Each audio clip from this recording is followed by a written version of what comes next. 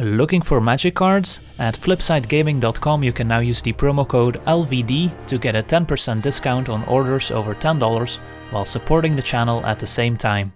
Hello and welcome to another Magic Arena gameplay video. Today we're taking a look at a combo deck called Omni Flood as it tries to combine the newly printed Flood of Tears to put an Omniscience in play without having to pay its mana cost. So the way the Flood of Tears is worded, we can return all non-land permanents to their owner's hands, so it's also just a nice tempo play buying us a bit of time. And if we return four or more non-token permanents we control this way, we can put a permanent card from our hand onto the battlefield without having to pay its mana cost. So the goal of the deck is to cast Flood of Tears, pick up four or more permanents, and then put an Omniscience in play without having to pay its mana cost. Omniscience, a 10 mana enchantment that lets us cast spells from our hand without paying their mana costs. So once we put an Omniscience in play, it's usually pretty straightforward to win the game. We of course have a lot of permanents that when they enter the battlefield draws cards, so by picking those back up with the Flood of Tears and then casting them for free with Omniscience, we get to see a lot of new cards, and then once we find one copy of Tamiyo, Collector of Tales, which with the minus 3 lets us return a card from our graveyard back to our hand, which means that Tamiyo can minus to the Flood of Tears in the graveyard, put it back into our hand, and then of course we can replay the Flood of Tears, which will again return all those permanents back to our hand. We can again put the Omniscience in play, and then start recasting all our spells for free, and one of the permanents we picked back up is Tamiyo, which can then again minus 3, returning the Flood of Tears, so this is kind of an infinite loop. And then eventually our win condition will be Jace, Wielder of Mysteries, which wins us the game if we draw a card from an empty library thanks to his static ability, or if we use the plus one as well. So a pretty straightforward way to end the game. So once we've got the Omniscience in play, it usually doesn't take too long to actually win the game. And taking a look at the rest of the deck, we've got a Llanowar Elves at 1 mana to help us speed things up a little bit, and also just a nice cheap 1 mana permanent to count for the Flood of Tears. It usually dies, but that's fine. It just helps us ramp into turn 3 Tamiyos and kind of smooths out or draws a little bit since we have a lot of clunky 2 mana cards otherwise. Then at 2 mana we've got 2 copies of Fblthp, which draws a card when it enters the battlefield, and that's kind of all we want out of these cheap permanents, is they have to stick in play, and preferably be difficult to interact with, and to draw a card when they enter the battlefield so we can keep drawing through our deck and find the missing combo pieces, and also when we cast a Flood of Tears, if we don't have the Tamiyo Flood of Tears loop already, we want to be able to draw into those combo pieces by replaying all these cards that draw a card when they enter the battlefield. So we've got two Fblthps, and then four copies of a Guild Globe, which draws a card when it enters the battlefield and is an artifact, so pretty difficult to interact with, and four copies of Urban Utopia, which enchants one of our lands and fixes for mana, and also draws a card when it enters the battlefield. So these eight 2 mana permanents are pretty difficult for the opponent to remove, so they tend to stick around and make it easy for us to have the 4 permanents needed for the Flood of Tears. And then we also have three copies of a Root Snare as a fog effect to prevent all combat damage this turn, which can help us against the creature decks since we don't have any removal, we're a bit slow to set up sometimes, and sometimes all we need is just to buy one extra turn and cast a Root Snare to help us survive and then go off on the following turn. Plus, Root Snare also plays very well with Tamiyo since we can protect our Planeswalkers with Root Snare and then use Tamiyo minus 3, get back a Root Snare from the graveyard, which again buys us more time. Then at 3 mana we've got a full playset of Risen Reef, which provides an advantage when it enters the battlefield, and especially multiples it's great. And when we're going off with Omniscience in play, Risen Reef also speeds things up significantly, since if we Flood of Tears back a couple Risen Reefs, then they tend to draw through our deck very quickly to then win the game with Jace. And then we also have two copies of Narset Parter of Veils, which can also help us assemble the missing combo pieces. It finds all these Urban Utopias, Guild Globes, Root Snares, and all the different Planeswalkers, as well as Omniscience and Flood of Tears. So Narset is great at finding those last missing cards, and especially if we can pick up Narset again with a Flood of Tears, we get to replay Narset, Activator again. That's another way to pull ahead. And that's also why Planeswalkers are great with Omniscience and Flood of Tears, even though they can be somewhat vulnerable and don't always stick around. Then at 4 mana we've got the full playset of Tamiyo, which is a very important piece of the puzzle here, helping us combo with the Flood of Tears once we have the Omniscience in play to lock things up, and also with the plus 1 helping us find the missing combo pieces we need, and that's also why we want as many 4-offs in the deck as possible. I wanted to make room for the fourth copy of Root Snare, but couldn't quite find room for it. And then of course we also have our Jace Wielder of Mysteries, which is our win condition, and even if it dies, as long as it doesn't get exiled, we can always get it back with Tamiyo's minus ability, so we shouldn't be too afraid of running him out, since Vraska's Contempt is not a card that's played too often, and other exile-based removal spells like the Prison Realm, for example, we can bounce back with the Flood of Tears, so that's not a problem. So it's mostly just cards like Vraska's Contempt that can punish us for running out Jace early, And then of course we've got our combo pieces here, four copies of Flood of Tears, which is also just a nice play sometimes, even if we don't have Omniscience to put in play, since it buys us so much time and rebuys all these 2 mana permanents that draw more cards. And then finally three copies of Omniscience, don't quite want a fourth copy since it doesn't actually do anything unless we're comboing off with the Flood of Tears. And then our mana base, we've got plenty of lands since we want to be able to hit lands with Risen Reef, and we do want to get all the way up to 6 mana without missing a land drop. So we've got 6 basic islands, 7 basic forests, and 4 breeding pool, giving us 11 untapped green sources for the Llanowar Elves, then 4 copies of Hinterland Harbor, and also the full playset of Temple of Mystery, which is great in this deck, helping us scry 1 and find the missing combo pieces. So yeah, that's our deck. Now let's jump into some games and see how the deck does. Alright, we're on the play, and our hand seems okay. It's a bit slow, but being on the play makes up for it, and we can spend our time playing some temples in the meantime. So we've got most of the pieces we need here. Usually don't actually want to draw the Jace, since uh, it usually dies on the spot and only draws a card. But uh, yeah, we've got the Flood of Tears, we've got the Tamiyo, and a Risen Reef, so we're looking for more permanents to keep in play. So Guild Globes, Urban Utopias, Risen Reef keep since we've got another one in hand. And hopefully those will put some lands into play as well. well let's see what we're up against. Turn 1 Breeding Pool into Arboreal Grazer. So some sort of ramp deck. Alright, I see Field of the Dead, so opponents playing the Scapeshift deck here. Trying to make some zombie tokens with Field of the Dead. Not a Risen Reef, I mean, sure, why not? Eventually we'll want to keep lands on top, but Especially against a deck that doesn't really kill our creatures. Having more Risen Reefs is useful. Teferi Time Raveler, so that can let them Scapeshift at instant speed. And can also bounce a Risen Reef, but that's not a terrible exchange for us. But now we could regret uh, not keeping a land on top. Instead our opponent pluses Teferi, since bouncing Risen Reef also feels pretty bad. But now we'll get two Risen Reef triggers. And Rejuvenator will ramp the opponent some more. So yeah, this matchup is kind of tough if the opponent has Teferi in play. Without Teferi, we could just Flood of Tears and bounce all the zombie tokens the opponent makes after Scapeshift. But with Teferi, they can play it at instant speed on our end step. And then we won't have the Flood of Tears to clean up those zombie tokens. So we basically have to combo before the opponent manages to assemble enough lands in play. And we have the Omniscience, so it could be possible. Root Snare is also not too useful if the Teferi's around. Should have played my land first here in case we drew into a Llanowar Elves, since this is not like your typical draw effect, the land will go straight into play. Otherwise we might have wanted to wait in case we drew into a tap land. Alright, Teferi will bounce a Risen Reef this time. And a Roots to put two more lands in play.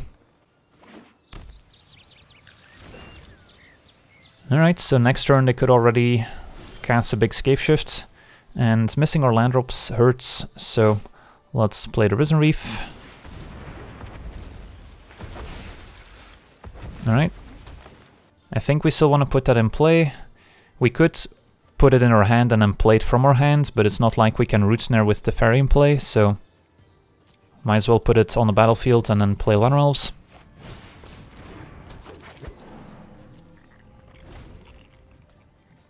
So next turn we could potentially go off, we'll see.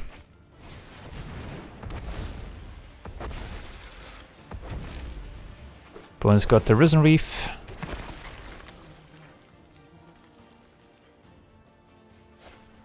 And a Growth Spiral. Alright, so they won't be scape shifting quite yet. And a Grazer. So if we hit the Llanowar Elves off the top, it's pretty much game over. A land instead. So we're one mana short of actually comboing off here.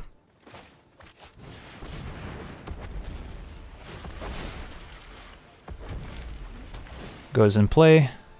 Don't need more Tamiyos.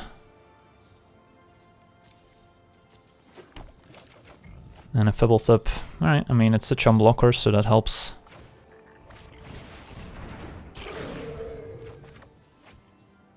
And then I guess we'll play this tapped. And pass a turn. Alright, so I think we're in good shape to win this game. The Scapeshift deck doesn't really have any interaction. Scapeshift is not going to mess up our plans at this point. They're pretty far from doing anything with this Blast Zone. Next turn we can Flood of Tears, put Omniscience in play. And we already have the Tamiyo for the deterministic win. Teferi pluses. I'll take 4 damage here.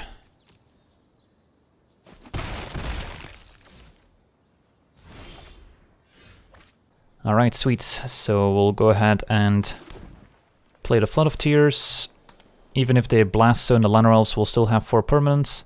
Maybe I should play it safe and just like play a Tamiyo beforehand. In case our opponent has some instant speed removal for one of our permanents. Plus, probably just naming, I don't know, Guild Globe or Urban Utopia. We'll go with the Guild Globe. And then we'll Flood. Flow the mana first. And yeah, that's a combo assembled. Opponent has already seen Tamiyo. And Scapeshift making a million zombies is not gonna help them. Alright, let's put Omniscience in play. And that should be game.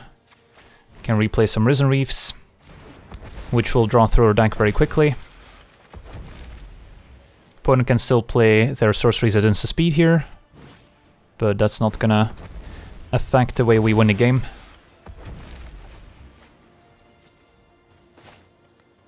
Sure. So yeah, usually playing Risen Reef is the fastest way to uh, empty our library. So we'll do that.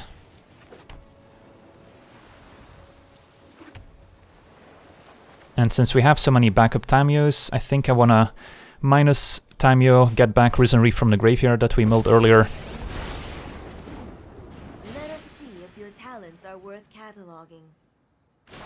So again, we can empty our library faster. 28 cards currently, but it's gonna reduce in size pretty quickly.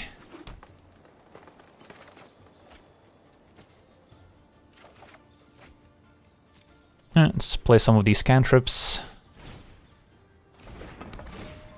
And then either we'll draw into another Flood of Tears, or we can play another Tamiyo minus return Flood of Tears from the graveyard.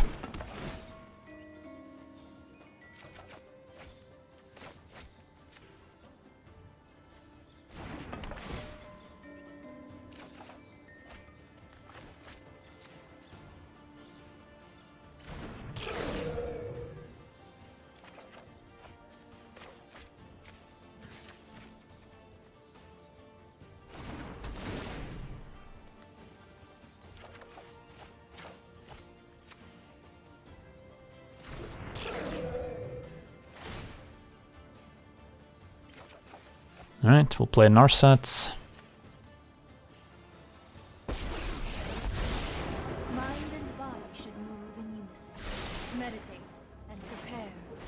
And I guess it's time for another Tamiyo.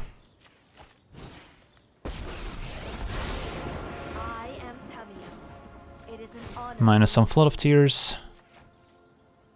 I guess we can mill ourselves with Jace a little bit too here. Opponent might concede after seeing Jace. But I'll happily go through the motions. Right, that's Flood of Tears. Just gotta make sure to put Omniscience back in play. And it's Risen Reef time.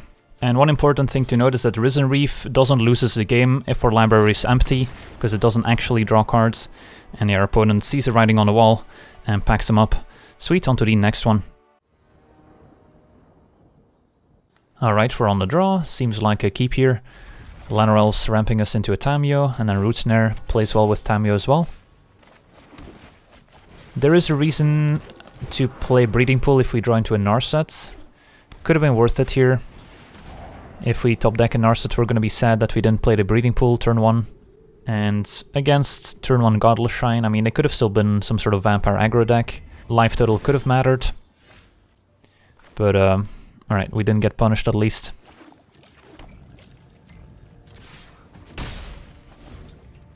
But yeah, if our opponent played a black-blue dual land first, then we definitely should have uh, taken 2 damage. Against Godless Shrine, it's unclear whether or not they're gonna be maybe a Vampire aggro deck, or if they're on control. Well, we've got some Planeswalkers and we've got our two combo pieces, so that's good, but if we miss on a land drop here, we could be in trouble. Another Thought Erasure, probably taking the other Tamiyo here, leaving us with a Jace. So on the bright side, our opponent's not going to be pressuring our life total anytime soon, so we've got time to set up. But if they've got more Thought Erasures, and we don't have a Tamiyo in play, which of course protects us from discard, then uh, they could rip our hand apart. And Root Snare not too important in this matchup. Well, Forest doesn't let us play Jace, so Hopefully we can find an island or maybe an urban utopia or guild globe off the top. Ooh, Dovin's Acuity, haven't seen that in a while. So that's our opponent's card draw engine here. Well, if they're on Mastermind's acquisition, they could find some problematic cards out of the sideboard. And they might also be playing Vraska's Contempt, since that plays well with the Acuity. And Contempt, exiling Jace is going to be difficult to beat. Since then we have to win with Risen Reef and Fblthp and Llanoweln Beatdown, which I don't think is happening. Camster picks up Acuity. So yeah, we're not doing much here. Didn't find any of our cheap cantripping permanents. Alright, there's one of them. Another root snare is not what we need here. So, if we want to sack Guild Globe, we can play Jace. Usually don't want to sacrifice the Guild Globes if we can avoid it. And Acquisition getting a card out of the sideboard is not going to be good for us, since they can get any card that disrupts our combo here. Unmoored Ego, for example, naming Flood of Tears or Omniscience shuts our combo down. And that's going to be game over. Alright, there's a Utopia a bit late to the party.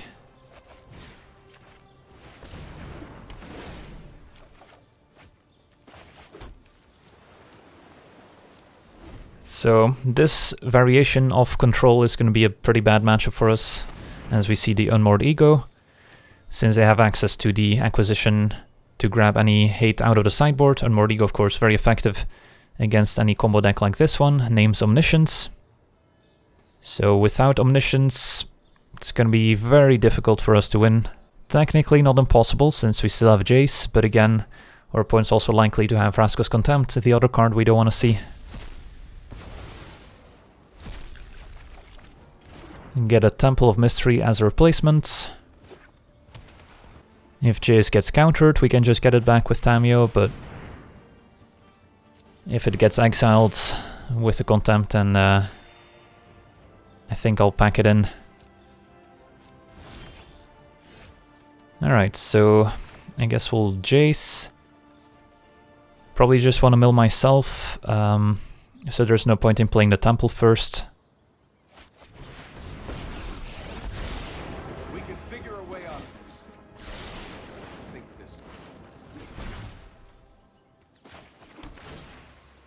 Risen Reef seems fine.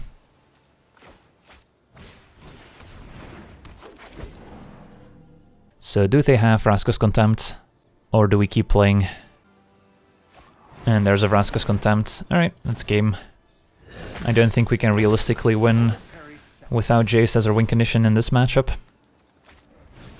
Alright, I guess we disconnected on to the next one. Alright, we're on the play with a pretty solid opener got Llanowelns for a bit of acceleration, multiple permanents, and then both Flood of Tears and Omniscience. So, could use a few more lands, but otherwise a pretty ideal opener. And I guess I'll play the Elves on turn 1 here, since we can still play the Guild Globe, plus Temple next turn. Facing turn 1 Stitcher Suppliers, so probably a Reanimator deck. Looks like a blue-black variety here featuring the new Blood for Bones card, probably. Let's cry into another Risen Reef. Yeah, I mean, I guess we'll keep that. Do want to hit our land drops, but can we really say no to a second Risen Reef? I don't think so.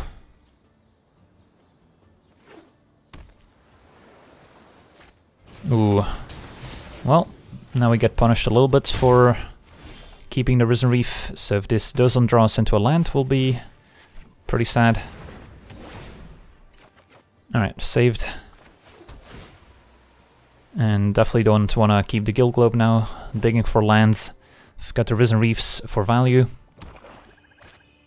And a Rotting Regisaur, well, that's gonna beat down pretty hard here, 7-6. Can of course jump it with a Risen Reef if we get the chance. Put that in play. Definitely gonna take the first hit, since we want a Risen Revalue and we also want to keep permanence in play for Flood of Tears, but we'll see in the next couple turns what happens.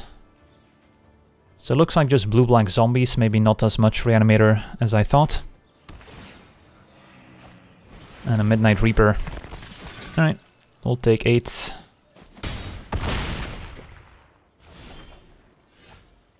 And drawing into a Root Snare would be ideal here.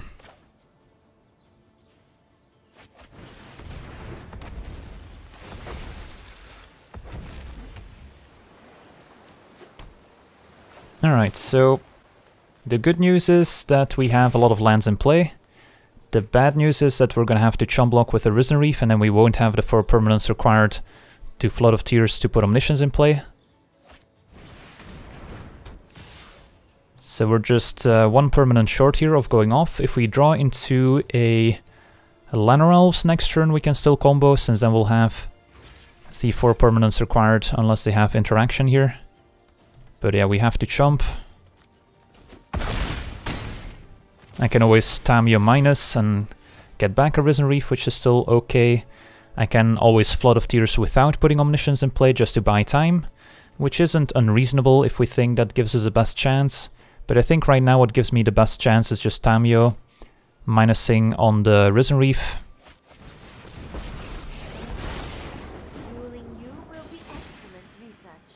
And we were kind of close to just uh, hardcasting an Omniscience here too.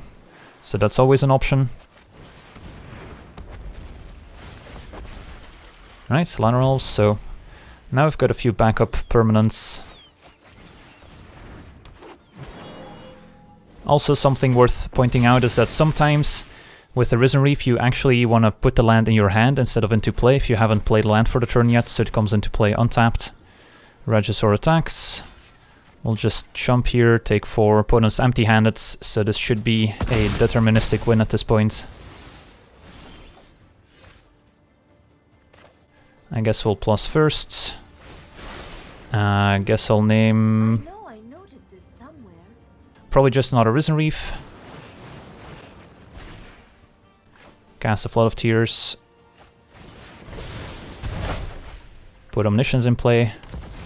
And if our opponent has played against this deck already, they'll scoop him up, and there we go. Sweet, on to the next one. Alright, we're on the play with a reasonable hand. A little on the slow side, but being on the play makes up for it, and then hopefully we'll get uh, some good draws here. Want to watch out not to play the second forests in case we pick up a Jace Wielder of Mysteries. Alright, Law-Rune Enforcer, so up against a Mono White or Mono White Splash Red aggro deck here. So this is going to be a matchup where drawing into a Root Snare is going to be pretty critical. Tamiyo can return Root Snare, so if we've got enough mana, that can keep us alive.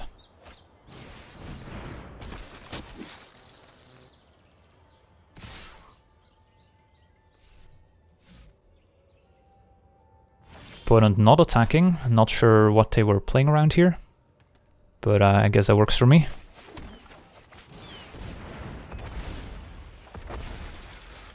Maybe they thought we were on the Simic Flash deck and we had the Cutthroat, the 2-1 with Flash, that they didn't want to run into. Opponent could be on a Feather deck, so they value their Legionnaire, maybe it's one of their only creatures, as we see Gird for Battle.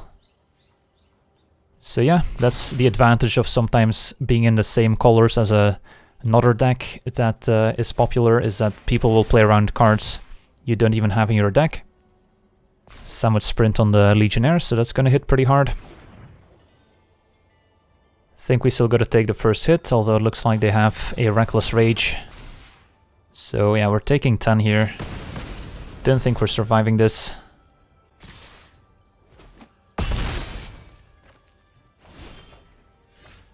So I guess we'll Temple first. Maybe we should Utopia and just hope to draw into a Root Snare. But one Root Snare by itself is not going to be enough since we just have the three lands in play. So we need to be able to probably Risen Reef, survive the next turn somehow. And then next turn, set up the Root Snare. I guess that makes sense. Land would be okay, but I think we gotta dig for the fog. Omniscience doesn't help.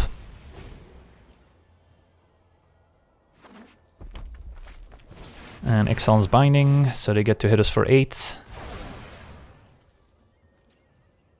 Yeah, we gotta get very lucky from here. Another Risen Reef that we can't cast because of the Ixalan's Binding, so the only play is Utopia. Find a land, so yeah, we're dead. Alright, well, there was a pretty savage draw from the opponent. And Dreadhorde. So if they didn't miss that one attack to try and play around the Cutthroat, then uh, we would have already been dead. Alright, on to the next one.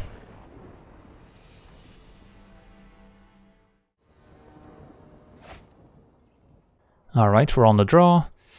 I guess we'll keep... We don't get to play Narsa turn 2 since we don't have a breeding pool. But uh, Still seems okay. Opponent on a black-green graveyard deck.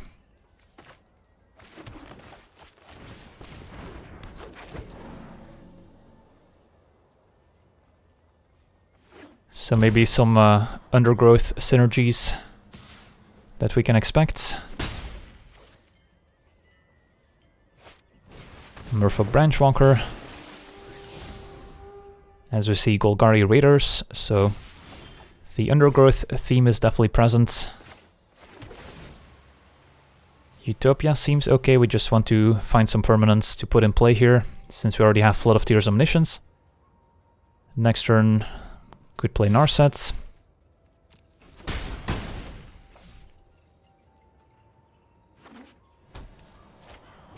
Alright, Glowspore might have to trade off the Llanowar for this Glowspore just to buy a bit of time. Opponent puts land on top. Not too many creatures in the graveyard at the moment, so this uh, Raiders is not too effective.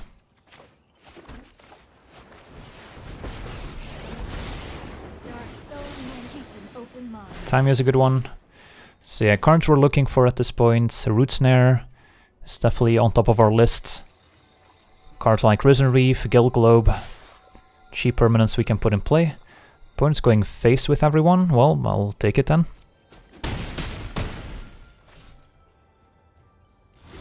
And lets us untap, so we'll activate Narset.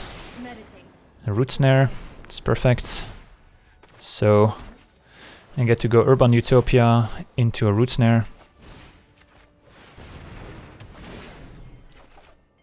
And I guess we'll play another Elf.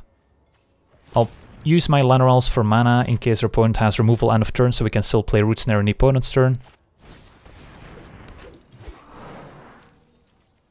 But now we've got Root Snare plus Tamiyo. And I guess if they don't interact, we just Flood of Tears with Omniscience next turn, which would be game.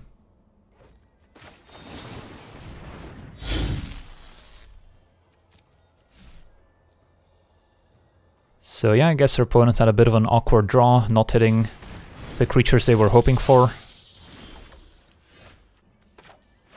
So we have a backup Omniscience, so we don't really care about them destroying the Omniscience, since we can just cast the second one right away. The problem is if our opponent uses Assassin's Trophy or some removal spell in response to the Flood of Tears, because then we will only have three permanents and we don't get to put Omniscience in play. So I think the safer play here is just to play Tamiyo and then get back Root Snare from the graveyard. And this way we will have one additional permanent in play as well for next turn. So a single removal spell on our Llanowar Elves won't mess up our combo.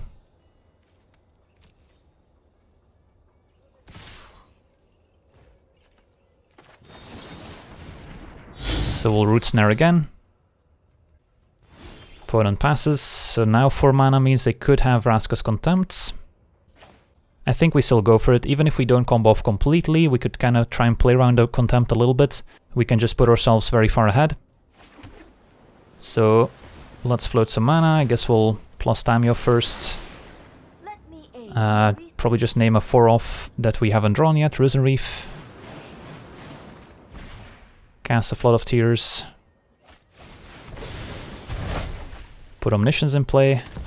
And the first thing we want to do is just play another Omniscience, just in case they have a way of destroying enchantments at instant speed, but our opponent packs it in since we have the Tamiyo, we've got the Flood of Tears in the graveyard, so they know that uh, they're dead if they don't interact.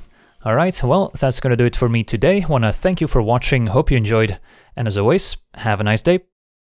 I also want to thank all my patrons for being part of the channel, and you can become a patron yourself today and decide the topic of future videos over at patreon.com forward slash LegenVD.